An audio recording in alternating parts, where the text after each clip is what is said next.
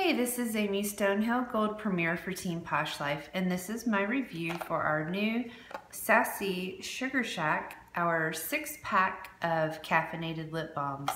Hmm, here's one by itself. So we have six varieties, one Smart Cookie, Candy Crushed, Orange Cara-Mellow, Get Fresh, Glad to Mint You, and Fun Lip.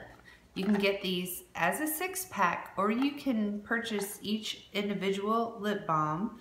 Um, the six pack is $24 and you can get one by itself for four. So take a look at the website and see which one you might want to try or just go ahead and get the six pack. You can keep some for yourself and gift some to others. Um, it's got this really cute um, packaging and it's a great gift for anyone year round. So if you are interested in trying out our lip products, go to my website at aimeeposh.com. That's A-I-M-E-E posh.com.